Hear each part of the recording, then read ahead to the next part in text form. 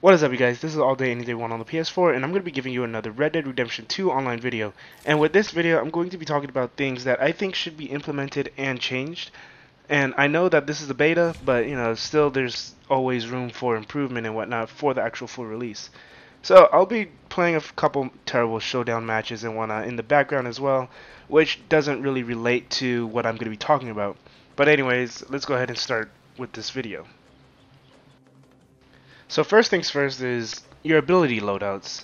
So I think with the ability loadouts, it would be really useful and important because all abilities work best in certain situations. So you'll have certain abilities that work great for PvP, certain abilities that work really great for PvE. And with PvP, you generally want something that helps you with your headshot immunity and just taking less damage from, you know, just from bullets and whatnot. While PvE, you generally want something that can help you build your health back up. Because NPCs generally don't aim for your head, they're just shooting at you. Sometimes they'll get you in the head, but most of the time they're shooting at you, so you want to be able to heal yourself.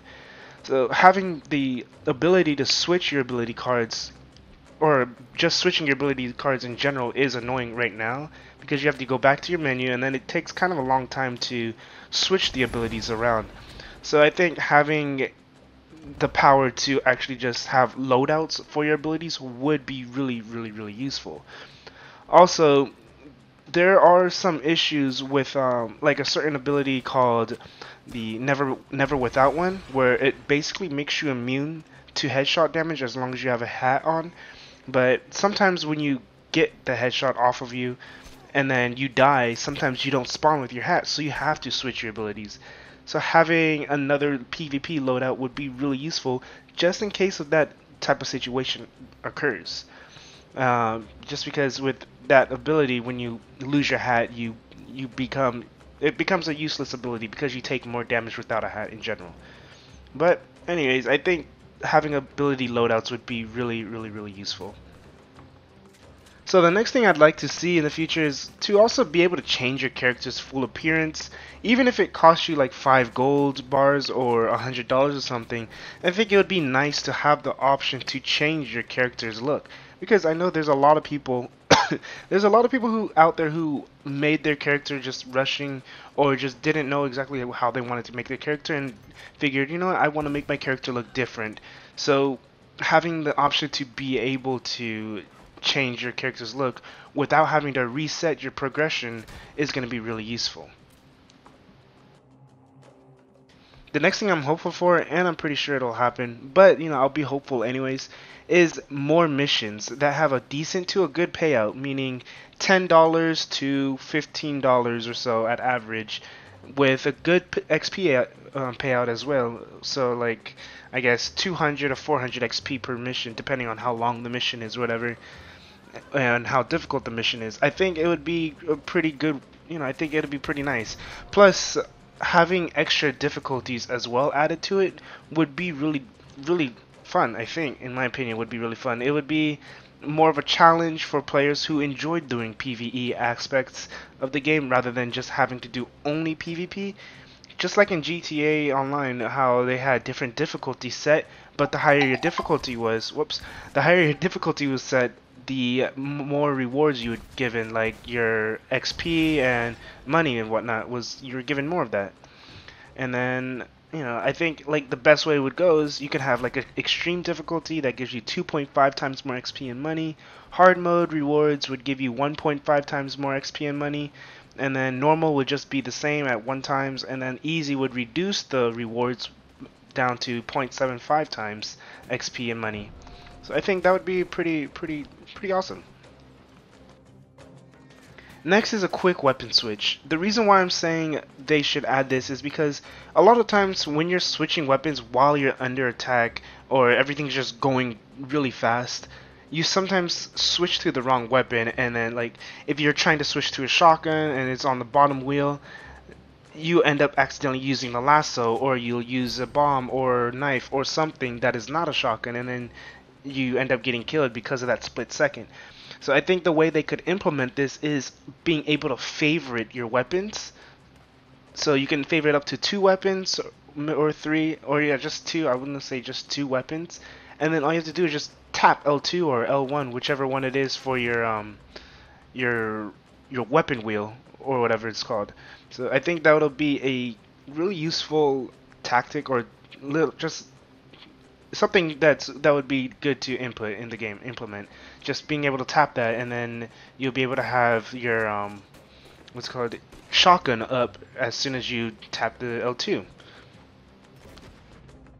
now for the showdown series it's there's not much that is wrong with it. The only thing that I find really annoying is the blimps because when you're doing large showdown series you'll have teams of eight or eight different teams sometimes. Not all the time like if you're doing hostile territory sometimes it's just four sometimes it's just you know um, sometimes you'll have eight but team showdowns you generally have two. But in things like name your weapon teams or whatever you'll have multiple team you'll have multiple different teams that are generally the same or very close in the same color.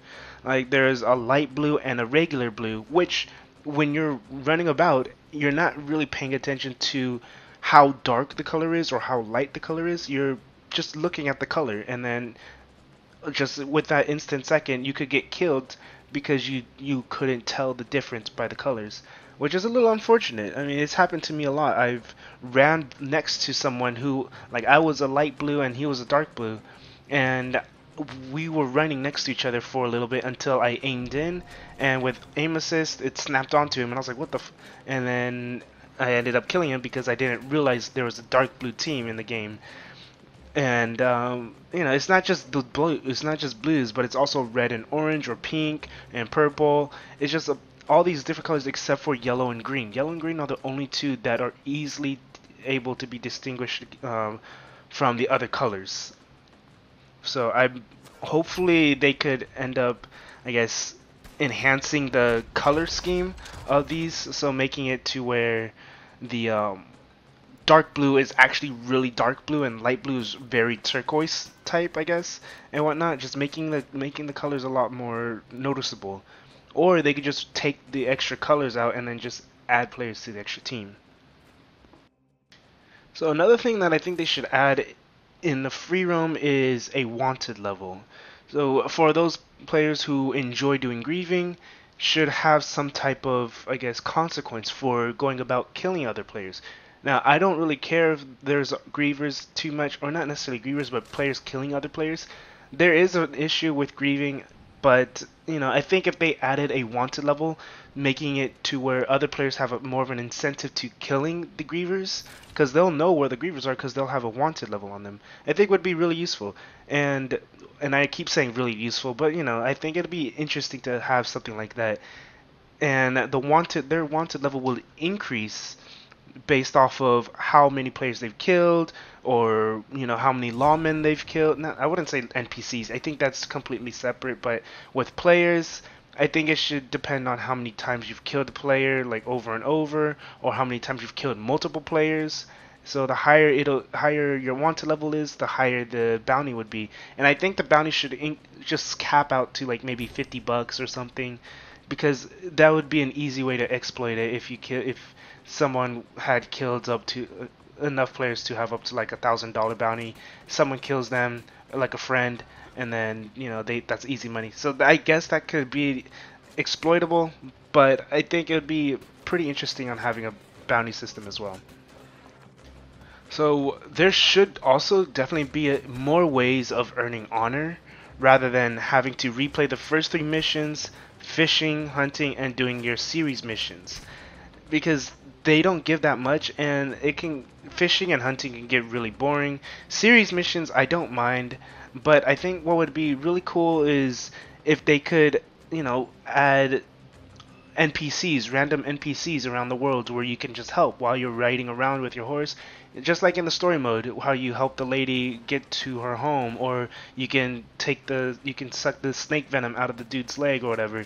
I think that adding those would be cool to have to build up your honor would be, you know, and then also helping another player complete their missions. If you're not part of their posse or anything, you just go by and help them with their mission or helping another player if they're being killed by other players. So if a posse or just some other player has killed someone, and then you killed that player that killed them, that would build your honor up. I think those would be really cool because I mean technically you're not that doesn't really make sense on why you would get eh, um, dishonorable. I mean it counts as being dishonorable because you murdered someone, but I think that shouldn't count. In my opinion, it shouldn't count because you're you're you're taking revenge, I guess, in that in that type of sense. Or you're avenging the dude. Up next is going to be adding a trapper. So I'm pretty certain that they will be adding a trapper sometime later on, but you know, just or just anything that really allows you to craft something out of your pelts. And I think what would be awesome with these with this is these craftable pelts or not craftable pelts, but these items that you use to craft with the pelts would give you some type of stat bonus to, you know, like headshot damage, not headshot damage, um, to like melee attack speed or reload speed, increasing your accuracy, increasing movement speed, or increasing your bullet resistance, explosives, hunger, your core stays higher, or you know, just all these different um, elements or whatever would be really, really nice to have. I think, at least to me, I think it's because I'm more of a person that likes or enjoys RPG aspects in games. So having these type of different quote unquote builds and whatnot or gear would be pretty awesome. And then the stronger the pelts are, like if you have a three star pelt and then you were you you used it in the trapper or whatever, it would give you a higher bonus. And I think adding this would give other players more of an incentive to actually craft, or not craft, but to go hunt and whatnot. I think that would be pretty. I, I would certainly go hunting more often. I rarely ever go hunting at all in this game. I've I've gone hunting a few times until they um, kind of nerfed hunting, but I never really hunted that much. I think I would hunt way more often if they added something like this. So another thing I want to add is having or implementing passive modes and having free aim sessions as well as private sessions and aim assist sessions. And I know they're going to end up adding this eventually because they have this in GTA Online. But the thing is, they had passive modes right away on GTA, and I, I mean, I guess in a sense, this is the Wild West, and you don't necessarily, you, I mean, having passive mode is kind of a whatever, but I think having passive mode would be fine for people who just want to go about their own business, hunting, fishing, doing their own thing.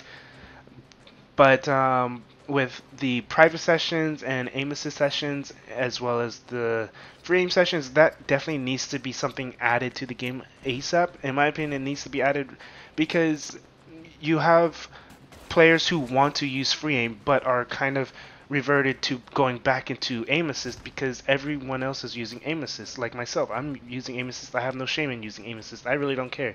But you do have players who want to have that skill gap of being able to use aim assist. I mean, free aim versus the people who are using aim assist and whatnot. And if you're using free aim, you generally are put at a disadvantage against most free aimers, unless you're at a far distance out of their um, out of their aim assist range. But you know, I think they they just need to add this pretty pretty quick. And now for the last thing I want to talk about is something I'd like to see that I think would be pretty interesting is to have a trading system. So not being able to trade your weapons or anything, but being able to trade things like food, herbs, ammo, tonics, pelts, and other sort of accessories would I think would be pretty cool. You know, just being able to trade with your friends or just random players, selling to random players and whatnot. Three star pelts. That's what would make it to where having the the trapper system that I was talking about earlier would make it more useful with the trading. You can sell three star pelts to other players and whatnot. And then I think the best trading places would be like if they they could end up creating like a trading post or something and uh, players can go there and trade with each other and this would be i guess put into every every city and or they can just you know trade in their camps where they're safe they can't get shot at and um, or saloons or whatever and if they're in a mission and they need to trade ammo or tonics or whatever you can just trade in there as well oh and another thing before i completely forget is something that they definitely need to fix is in the showdowns menu and the PVE menu is the fact that when you're trying to buy ammo, you are set to the team lock-in timer, and that has about I'm pretty sure it's 30 seconds. But you know, if you're looking at your scoreboard and whatnot, and you're not paying attention to it, that once that timer is done, you cannot buy ammo, you cannot change your weapon loadout, you cannot change anything, which is unfortunate, especially if you have no ammo. So you have to be quick about it. I think something they need to change with that is they need to make it to where the ammo is you know that the weapon ammo purchase and the weapon loadout is completely separate from that as well as adding ability card loadouts in the menu as well so you can change it around when you since you know what game mode you're going to be playing but back to the trading I think this would be, you know, I think it would be helpful for a ton of players being able to sell them items or buy items from other players. The only thing is you wouldn't be able to buy clothing, no weapons, and you can only use the in-game cash. You can't use the gold bars. I think this would be, I, I would be 100% for it. And um, yeah, honestly, that's pretty much it. I think. Um, that's pretty much yeah. That's pretty much it. If this helped you at all, go and leave a like, comment, subscribe. If you have any other suggestions you'd like to throw out, put that down in the comment section. And yeah, that's pretty much it. This is all Day 1 on the PS4. Have a good day, good night, and peace.